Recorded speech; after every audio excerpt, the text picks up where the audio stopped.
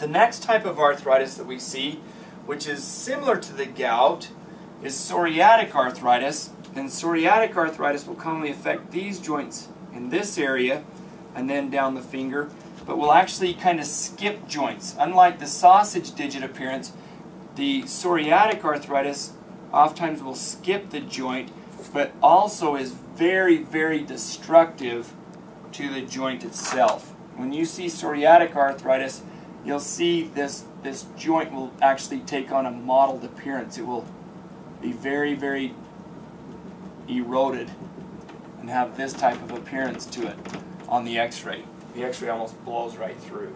Okay.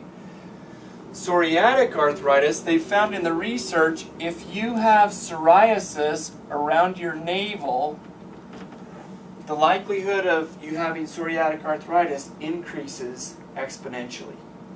Okay? Most people, again, most people who have are any type of psoriasis around their navel will actually have a likely predilection for psoriatic arthritis as well. Are you familiar with psoriasis? Psoriasis usually occurs on people's elbows. You'll see these white and grayish scaly patches. It's very common on the knees, very common on the scalp. You'll see it's, it looks like kind of a dandruffy appearance.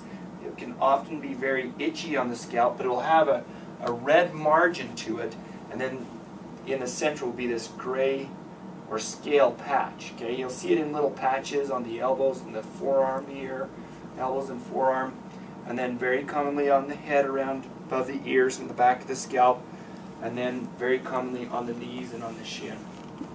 Okay, I've only seen a couple of cases uh, where people have had psoriasis around the navel, and in those cases, they've always had psoriatic arthritis.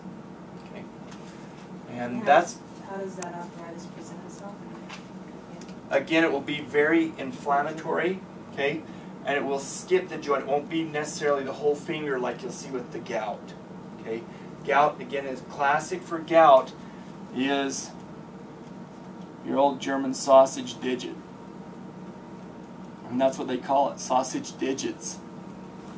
Okay?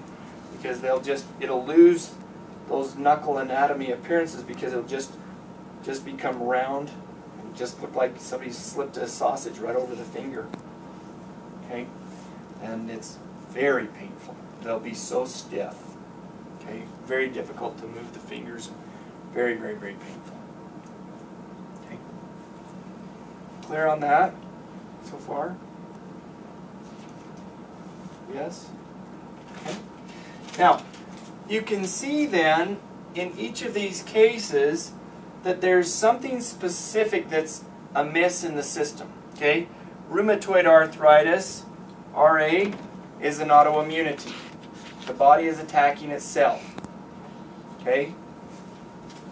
As is the association with psoriasis. Psoriasis is a skin affliction where the immune system, the T cells, are confused and they begin to accumulate and start to release different chemical markers and attack the skin and create then that scaly appearance. Okay?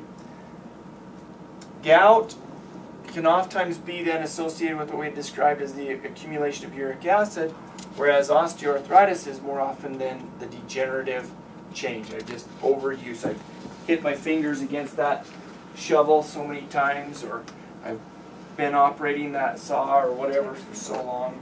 Text messaging is going to become the next osteoarthritis former of this joint right here in the thumb. Okay? Because the thumb isn't accustomed to doing that type of minute movement repetitively. So yes, text messaging. Okay?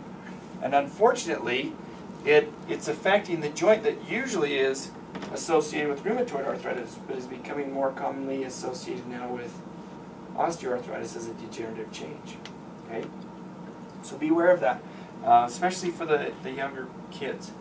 The interesting thing is that type of pull into the finger and that pull this way of the hand pulls that thumb into that joint, and that tightness actually is associated then with inflammation in what's called the flexor uh, hallucis longus muscle here. Okay, flexor hallucis or pollicis. Let's see. It's a pelican, so it's pollicis. It looks like a feather. So the flexor pollicis muscle here, and then the flexor group on the inside of the elbow and the extensor group on the back of the elbow. If you can actually release those muscles, usually you can relieve some of that pain because those muscles get pulled or start to draw that thumb in so strongly on the flexor side that it actually creates that joint pushing into itself. Okay? So, any questions there on the differentiation of those types of arthritides? Okay. In the spine, the most common presentation of arthritis again is osteoarthritis. I was in a traumatic accident. I fell out of the swing set as a child. I fell out of the tree. Uh, I wrecked on my bicycle. I was in a wrestling trauma. I was cheering and I was thrown up in the air and no one caught me. All those create for us osteoarthritis. Um, when I was mountain biking, I broke my arm. Um, when I was riding a four-wheeler with my cousin, we went flying off this jump and broke my wrist.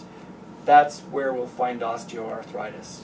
Okay, so those are very common causes then of osteoarthritis. Again, is the trauma, impact traumas. Okay. You might actually see a scar, did you? Is that very big? I did. Yeah. So when we look at the, the spine then, osteoarthritis, especially in the lower back, the thinning of the disc, degenerative disc disease, degenerative joint disease in the lower lumbar spine, that's very commonly differentiated as a weight-bearing pain alleviated by resting or lying down or sitting, okay? Whereas a disc pain will be differentiated as worse with sitting, and then the transition from sitting to standing is going to be a sacroiliac joint pain, okay? That's arthritis in the spine. The next common arthritis of the spine is a rheumatoid arthritis, where you actually have this synovial joint attack occurring high in the neck. And what you'll see is on the flexion x-ray, as the head tips forward, um, I'm going to erase this. Is everybody okay with that on the anatomy? Good art. Okay, let's go to in the neck. The neck x-ray will actually show us where there's instability because the ligaments associated with the, the joints, particularly the around then, let's do it this way. Need another volunteer up here, right? So we'll get this guy here.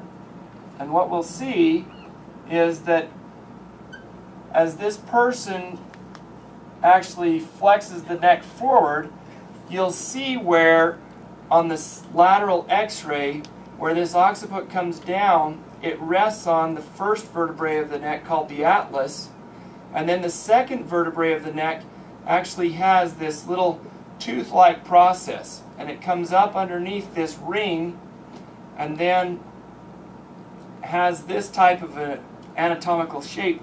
Well, this ring, the atlas, moves around this, but if you're actually to turn this downward like this, it kind of has this shape. Okay? And then when we look at this, where this little tooth-like process comes upward, there's a ligament that goes behind it and catches on that tooth-like process. So again, this is what we have, is this ring around this tooth-like process, and that allows then the head and neck to be able to move forward and back without then the atlas guillotining the brainstem as it comes down through here. Okay? What will happen in rheumatoid arthritis, advanced rheumatoid, is that this ligament will actually be eroded away. And so when this head tips into flexion, you'll actually see that this gap, as this person goes into flexion, this gap now will actually increase. It'll go from just this narrow gap like this to where then there's this clunking almost sensation. Okay? So they'll tip their head forward and they'll feel that little kind of a shift or a give. And what they'll oftentimes feel then is pinging because the posterior portion of the spinal cord going up into the cerebellum brainstem is all sensory. So they'll feel a stinging into their periphery. They'll feel it in their hands or in their feet like a shock as they tip their head into flexion when that actually degenerates. Okay, So for the chiropractor, I've never actually seen this. I've seen it just only in, in studies. Um, I haven't seen it on any of my patients.